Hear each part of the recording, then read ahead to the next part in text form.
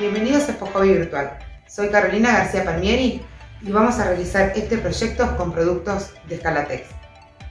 Para realizar este proyecto vamos a utilizar una hoja de fibra fácil, un frasquito de vidrio, recuerden que tiene que estar bien limpio con alcohol, pinturas serigráficas de Scalatex y porcelanato líquido y barniz satinado al agua. Para comenzar nuestra imitación a madera vamos a mezclar barniz satinado con pintura serigráfica.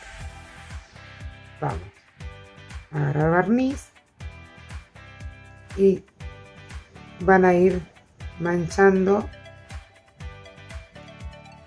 nuestro barniz para que puedan trabajarlo con el veteador. Tienen que pasar abundante cantidad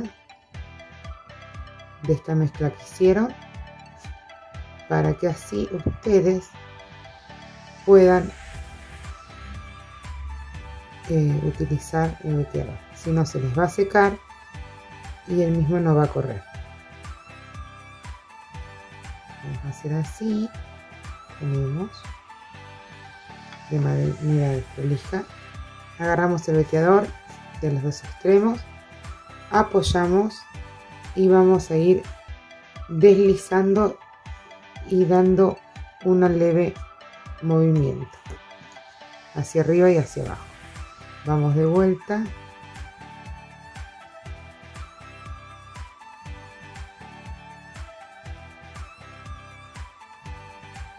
Vamos a ir poniendo más barniz.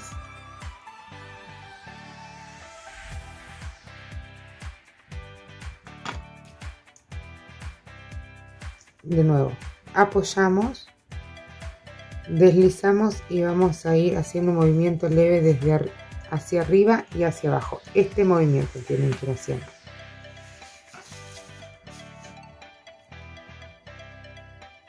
Vamos a ir tocando. Pueden si quieren mezclar en un frasquito hermético la pintura serigráfica con el barniz y tenerlo preparado.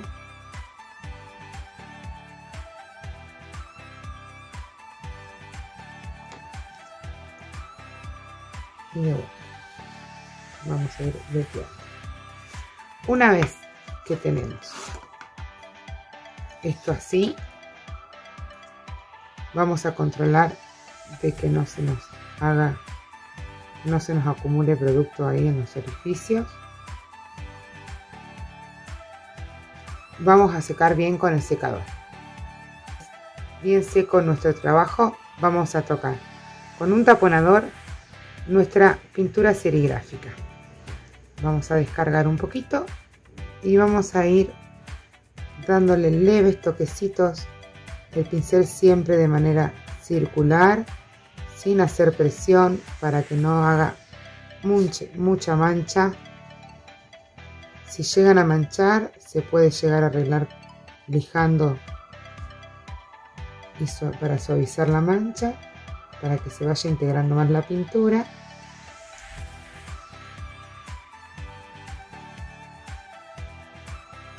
Y así van a ir avejentando los bordes. Si ustedes quieren hacer algún otro tipo de madera, pueden buscar fotos y observar alguna manera, alguna foto de alguna madera en especial que a ustedes más les guste. Y ahí lo tenemos. Vamos a pasar a preparar nuestro porcelanato líquido. ¿Qué vamos a hacer? Vamos a agarrar una cucharita descartable y un frasquito bien, bien limpio con alcohol van a tener componente A y componente B. Son dos partes de nuestro componente A y una del B. Para esta hoja lo que yo voy a utilizar va a ser 4 cucharaditas de la Vamos a poner 2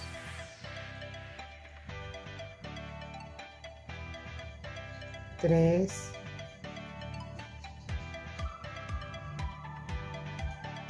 y 4 pusimos 4 cucharaditas de la. Y 2 del B. Pero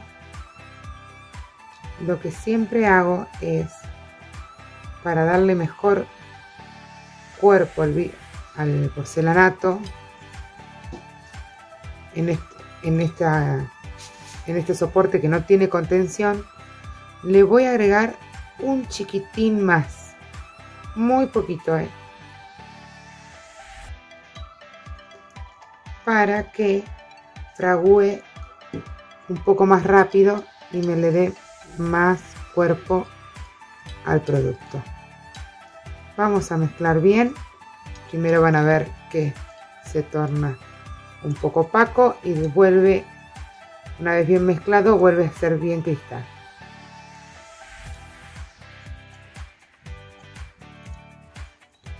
vamos a mezclar bien bien bien lleva su tiempo mezclar el porcelanato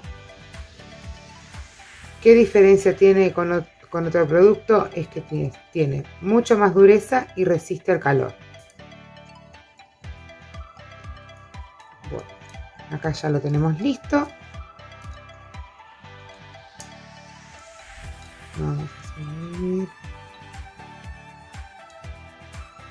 Recuerden que no podemos trabajar los días que haya mucha humedad. Y si lo hacen, eh, les va a tardar más en secar. Siempre tardan entre 48 72 horas de secado. Si lo pueden dejar un tiempo mejor, mayor, mejor. Y el espesor que tenemos que poner sobre la superficie no puede superar los 2 milímetros. Es una capa finita, por eso rinde tanto.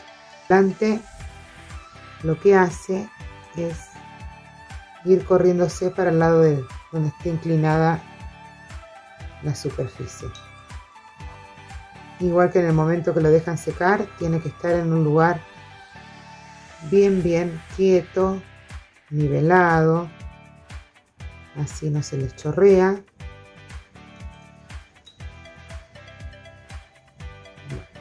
acá puse mi porcelana.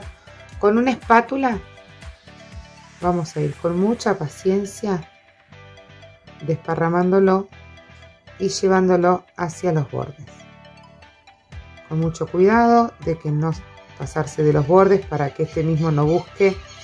Si a ustedes se les cae una gotita, lo que van a hacer es limpiarla porque por esa gota va a buscar nivelarse. Y ahí van a empezar a ver que se chorrea por todos lados. Así que con mucho, mucho cariño, paciencia. Tienen que ir trabajándolo. Cuando lo vayan a poner a secar, si pueden tápenlo con alguna caja, con algún tupper, con algo, porque todo lo que volatiliza en el aire se va a pegar. Entonces pelusa, tierra, lo que haya en el ambiente queda agarrado del producto. Como, pueden, como van observando, el color cambia el 100% cuando le agregan el porcelanato. Resalta muchísimo más.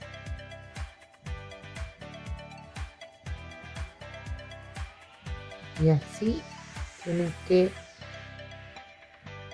cubrir toda nuestra superficie. En el terminado les voy a mostrar que es un kit de apoyafuente, plato de sitio y posavaso.